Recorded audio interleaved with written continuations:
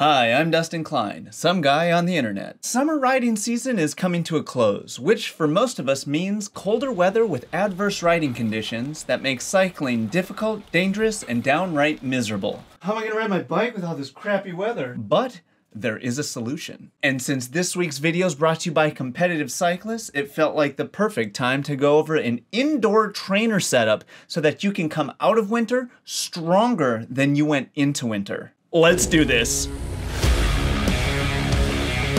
Why a trainer setup? Because riding in freezing weather sucks. Do I have to explain this? They're perfect for keeping up fitness through the off season. Wait, it does what? You can do group rides and races with people from all over the world with apps like Zwift. From the comfort of your own home. It's like Zoom for bicycles. There's dolphins. It's amazing.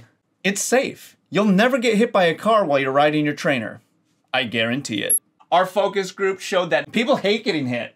Isn't that amazing? And my personal favorite is it condenses time. No more cleaning your bike, no junk miles. You can be off the bike and in the shower within moments of ending your ride. It's basically a life hack. I love life hacks! Okay, I'm in. What do I need? At a minimum, all you'll need is a little bit of space, a bike, and a trainer. I like to use my road bike because I don't really use it in the winter. In fact, I don't use it in the winter. 100% it just does not get used.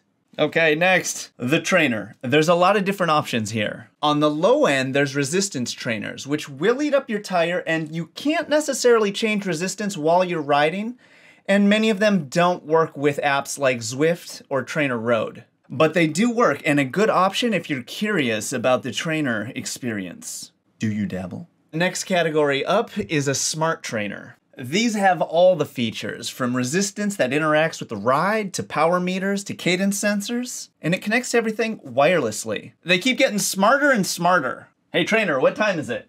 It's go time. From my experience, a smart trainer is hands down the way to go. And if you're on the fence, think about how many hours you'll spend on this thing, and it might make sense to elevate that experience. Plus, these things last for years. I don't I don't think you could wear one out. How would you wear that out? Oh, and they're quiet. They're not loud anymore. They used to be loud. That they fixed that. You hear that?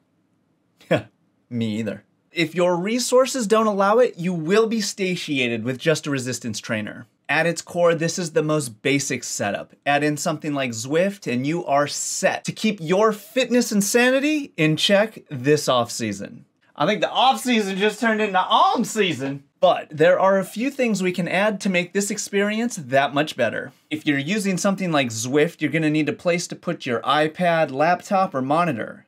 I encourage you to use what you have lying around the house. But this Wahoo desk works really good. I mean, it was designed for this. Convenience? Check. Further down the rabbit hole, the next thing to consider is a fan of some kind. You're gonna turn into a wet, hot, sweaty mess. That means you're doing it right. Air circulation is key. Don't forget a towel. You're definitely gonna need a towel. And why one of those floor mats is really helpful, because it it gets everywhere. Any regular fan works great. Remember, use what you've got. But this Wahoo Kickr Headwind is insane.